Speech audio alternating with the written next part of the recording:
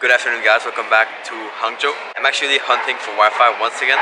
It's, when you travel you don't think about hunting meat, you hunt, you always hunt for Wi-Fi. That's what I'm doing right now. And I didn't get that much of a good connection, so I'm trying to upload videos. It's been 12 hours, so I have to find a way in. If you guys are wondering, I didn't buy the SIM card yet.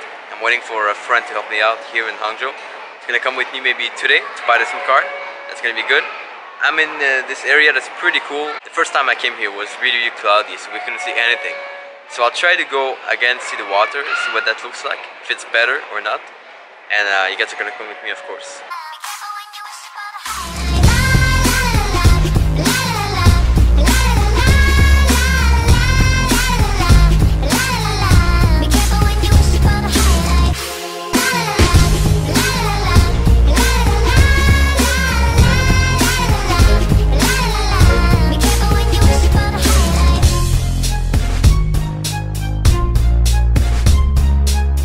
It's good to finally see what it looks like on the other side of the water. It's pretty cool. Not as amazing as other cities, but I'm more amazed by this side with the big tower.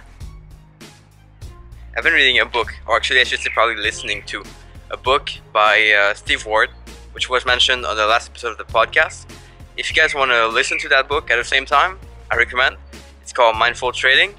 So I'll put the link below for you guys. It's really interesting and it's the kind of book that you want to read but also apply at the same time. So throughout the book it's giving exercises that you can apply which are really helpful. So what I would recommend you guys is I'll talk about that book a couple of times in the week probably. I'll probably do some more videos about it. But if you guys want to follow and uh, do the exercise at the same time I would really appreciate it. I think that would be awesome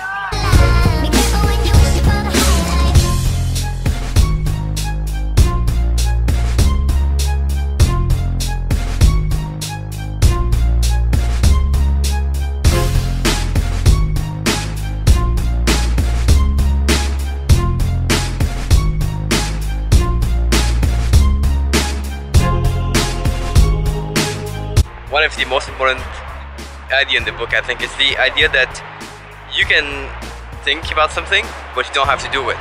You might be uncomfortable in a trade but it doesn't mean that you have to get up.